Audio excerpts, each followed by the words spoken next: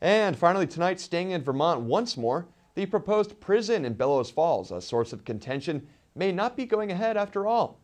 This announcement coming as an analysis of the building is currently underway, which was revealed at Tuesday's Rockingham Select Board meeting. The Eagle Times reports that Francis Walsh, the director of the Rockingham slash Bellows Falls Economic Development Office, stated that the findings of a structural analysis of the build site for the proposed prison, which would be a $23 million project and would house pre- pretrial detainees, might deem the site unsuitable.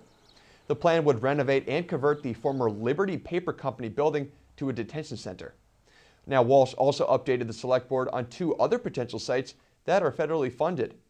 Rocking, Rockingham has said no to implementing a prison in its town years ago, yet the town is now seeking federal assistance of nearly $130,000 to help with this plan.